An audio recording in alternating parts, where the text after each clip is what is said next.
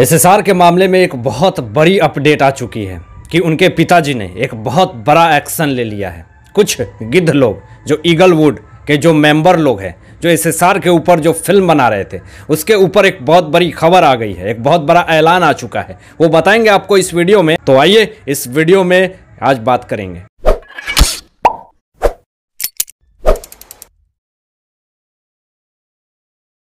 सारे लोगों को ये चीज़ पता है, जब स्टोरी नहीं होती है, जब कोई भी इन लोगों के पास कंटेंट नहीं होता है तो ये लोग एक ऐसी स्टोरी क्रिएट करते हैं जो कि एक रियल घटना से आधारित हो। क्योंकि उसमें क्या होता है कि सारी जो न्यूज़ होती है, वो पूरी तरह से मीडिया ट्रायल हो चुका होता है कवर हो चुका होता है। पूरे देश और दुनिया में वो सारी बातें फैल चुकी होती है। तो इसका फ़ायदा उठा करके कुछ कंटेंट राइटर और कुछ डायरेक्टर लोग मिल करके फ़िल्म का निर्माण करने की कोशिश करते हैं। क्योंकि उनको ये पता होता है कि पूरे देश भर में उस इंसान का बोलबाला है। उसका नाम पहले से ही फैला है। अगर हम इस पर फ़िल्म बनाएँगे तो बहुत जल्द हिट करेगा और ज़्यादा से ज़्यादा मात्रा में बिज़नेस होगी और मेरी फ़िल्में सुपर डुपर हिट होगी। तो ये कोशिश बहुत दिनों से चलती आ रही है और तीन तीन फ़िल्में एसएसआर के नाम पर बन करके तैयार थी और उसे हॉल और थिएटर में रिलीज़ करने की मांग भी थी और उसको रिलीज़ करनी भी वाली थी। कुछ लोगों ने तो ट्रेलर भी लॉन्च कर दिया था। लेकिन यहाँ पे जो ट्रायंगल आया, जो कि डिस्ट्रैक्शन आया, वो पूरी तरह से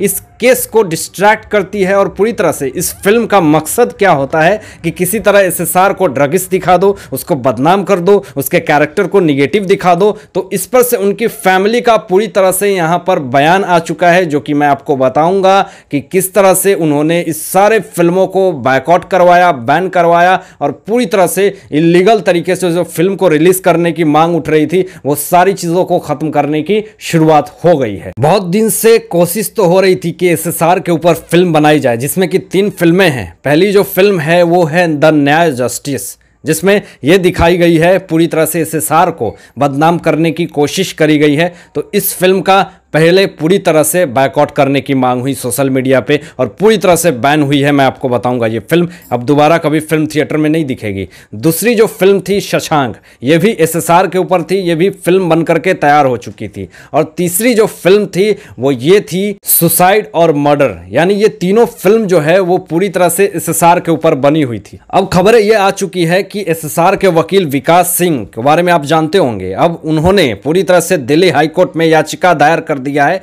और उनके पिता के के सिंह ने ये खबरें फैलाई, बोली कि ये पूरी तरह से हमारे बच्चे को बदनाम करने की कोशिश करी जा रही है। इस फ़िल्म के थ्रू, ये जो तीनों फ़िल्में हैं, वो पूरी तरह से एस को डिफेम करने की कोशिश करी जा रही है। इस फ़िल्म को पूरी तरह से बैन करा जाए बैकआउट करा जाए और इसे थिएटर तक नहीं पहुँचने दिया जाए। तो दिल्ली हाईकोर्ट का एक ऐलान आ चुका है। अब ये फ़िल्में, जो माफिया लोग हैं, जो इस फ़िल्म को क्रिएट करके देश दुनिया को, उनके फैंस के दिलों में निगेटिविटी भरने की जो कोशिश करी जा रही है। ये पूरी तरह से अब सही साबित नहीं हो पाएगी। एसएसआर के पिता के के सिंह और उनके वकील विकास सिंह ने जो ये याचिका दायर करी है, इस पर से दिल्ली हाईकोर्ट का एक बहुत बड़ा एक्शन आ चुका है। अब कितनी भी कोशिश कर लें, जो लोग एसएसआर को बदनाम करने की कोशिश कर रहे थे, साजिश कर रहे थे, वो सारे लोगों का साजिश सब मटिया मेल हो चुका है और वो सफल नहीं हो सकता है। जिस तरह से बॉलीवुड माफिया के गिद्ध लोग एसएसआर के मरने के बाद भी उनके गिद्ध की तरह नोचने की कोशिश कर रहे थे और वो जिस तरह से अपनी कामयाबी को छूने की कोशिश कर रहे थे एस के फ़िल्म बना करके उनके ऊपर, जो झूठी फ़िल्म बना करके उनके बारे में आपने क्या जाना? यानी अभी सीबीआई का इन्वेस्टिगेशन हो रहा है, अभी चार्जशीट दाखिल नहीं हुआ और पूरी तरह से ऑफिशियल स्टेटमेंट नहीं आया और इस पर से आप तीन फ़िल्में बना करके ये कहेंगे कि एस का कैसे हुआ है? सुसाइड या मर्डर, ये हम बताएँगे। यानी अब फ़िल्में बताएँगी। केस इन्वेस्टिगेशन अब फ़िल्में करेंगी? एसएसआर की बहन प्रियंका ने भी बहुत सारी बातें कही। उन सारे जो कि एसएसआर के नाम पे फ़िल्में बना रहे हैं, जो ये कह रहे हैं कि हम उनके बारे में ये बताएँगे कि एसएसआर ने सुसाइड किया या फिर मर्डर करा। उन सारे लोगों पे केस करा है प्रियंका सिंह ने और उनके वकील ने और उनके पिताश्री के के सिंह ने कि ये सारे लोग होते कौन हैं? हमारे बच्चे के ऊपर फ़िल्म बनाने वाले, ये होते कौन हैं? जो हमारे बच्चे को ये बताएँगे कि किसने सुसाइड करा या मर्डर करा है। हम किस केस की लड़ाई लड़ रहे हैं? अभी उनके जख्म भरे भी नहीं आप बताइए कि अगर वैसे इंसान लोग जो फ़िल्म बना करके ये कह रहे हैं कि हम थिएटर में इस फ़िल्म को दिखाएँगे और उसको थिएटर में लाने की कोशिश कर रहे हैं और उनके पिताश्री को, उनकी बहने को, जो इंसाफ की, जो उनके घर का इकलौता बच्चा जो था, उनकी इंसाफ की लड़ाई वो लड़ रहे हैं और अभी तक इंसाफ नहीं मिला और उसे ये कहते हैं कि फ़िल्म हम इनके ऊपर बनाएँगे और एक नहीं तीन तीन फ़िल्में बन गई। तो इसके ऊपर बिल्कुल सही निर्णय था उनके पिता का और उनकी बहनों का और उनके वकील का। पूरी तरह से इस फ़िल्म को बैन कर दिया गया है। दिल्ली हाईकोर्ट की तरफ़ से, यानी कि ये फ़िल्म कभी भी थिएटर में लॉन्च नहीं होगी। और ये एक बहुत ही खुशखबरी है पूरे एसेसारियंस के लिए और उन सारे गिद्धवुड के लिए और ईगल वुड के लिए। ये पूरी तरह से बैड न्यूज़ है जो एसएसआर को डिफेम करने की कोशिश कर रहे थे। उनकी फैमिली के जख्म भरे भी नहीं है। अभी पूरी तरह से जख्म जो है वो ताज़ा है। इतना दिन हो गया लेकिन इंसाफ नहीं मिला। लेकिन कुछ लोग आकर के सामने उनके ऊपर फ़िल्म बनाने की कोशिश। ये कितनी गलत बात है शर्मनाक बात है। उनकी बहन हमेशा इंसाफ की लड़ाई लड़ती हैं, अपनी बातें कहती हैं कि भैया हमें छोड़ दो, हमें जिस हालत में छोड़ दो। अगर इंसाफ की आवाज़ नहीं उठा पाते हो तो उनके नाम को जिस तरह से बदनाम करने की कोशिश कर रहे हो, कम से कम वो तो मत करो। जिस तरह से फ़िल्म बना करके जो तुम लोग ये दिखाने की कोशिश कर रहे हो, तुम एस के बारे में क्या जानते थे? कुछ जानते थे? उनकी बहन ने साफ़ कहा कि एस से कभी मिले तुम? उसके बारे में देखा, उसको सुना, समझा, लेकिन तुमने फ़िल्म बना दी। तुमने उस घटना के दिन, तुम्हें यह भी नहीं पता है कि उस दिन हुआ क्या था। लेकिन आप वहाँ पर पहुँच जाते दो घंटा की फ़िल्में बना करके आप सामने आ जाते यह कितनी शर्मनाक बात है और कितनी गलत बात है जिसपे प्रियंका सिंह ने साफ़ अक्षरों में ये सारी चीज़ें कह दी।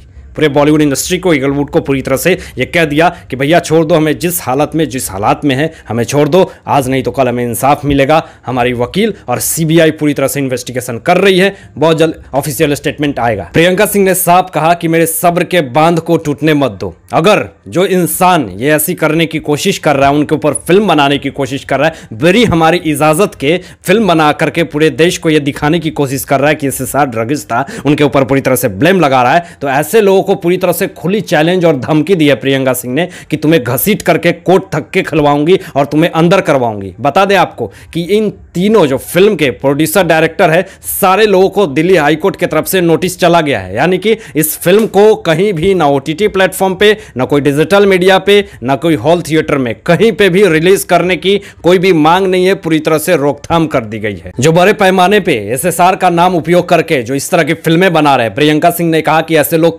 क्रिमिनलिस्ट होते हैं। ऐसे लोगों को पूरी तरह से क्रिमिनल लिस्ट में रखा जाए और ऐसे लोगों को कभी बख्शा नहीं जाए। अगर आप मदद नहीं कर सकते हैं तो किसी के भावनाओं के साथ खिलवाड़ मत कीजिए, ठोस मत पहुंचाइए, क्योंकि तकलीफ़ होता है। आज उनकी बहनों को आज उनके परिवार को इंसाफ नहीं मिला है। आज वो इंसाफ के लिए दर बदर भटक रही हैं, लेकिन उनके इंसाफ दिलाने की बजाय ऐसे लोग उसे बिज़नेस करार दे रहे हैं। तो ये कितनी गलत बात है और कितनी शर्मनाक बात प्रियंका सिंह ने साफ़ अक्षरों में कहा, आगे ये भी कहा कि बॉलीवुड के कुछ लोग, जो मेरे भाई का नाम उपयोग करके साजिश करके उनके नाम को खराब करने की कोशिश कर रहे हैं। एक तो मदद नहीं करने आए और उस पर से हमारे भाई का नाम उपयोग करके पूरे देश में पूरे सेसारियंस जो दिलों में उनको बैठा चुके हैं, उनके नाम को बदनाम करने की जो साजिश हो रही है, कोशिश हो रही है, उन्होंने साफ़ कह दिया कि ये कोशिश जो है वो पूरी तरह से नाकामयाब हो जाएगी। हालाँकि प्रियंका सिंह हमेशा अपने बातों को लेकर के भाई के इंसाफ के लिए आवाज़ उठाती हैं और उनकी एक बहन श्वेता सिंह कृति भी पूरे बेवाकी तरीके से बातें को रखती हैं और उनके पिता और उनके वकील ने जो बातें कही, वो बिल्कुल सत्य कही है। इस सार के इंसाफ के लिए और दिल्ली हाईकोर्ट ने जो बड़ा कदम लिया है, वो बिल्कुल सत्य लिया है और इन तीन फ़िल्मों को पूरी तरह से बैन कर दी गई है।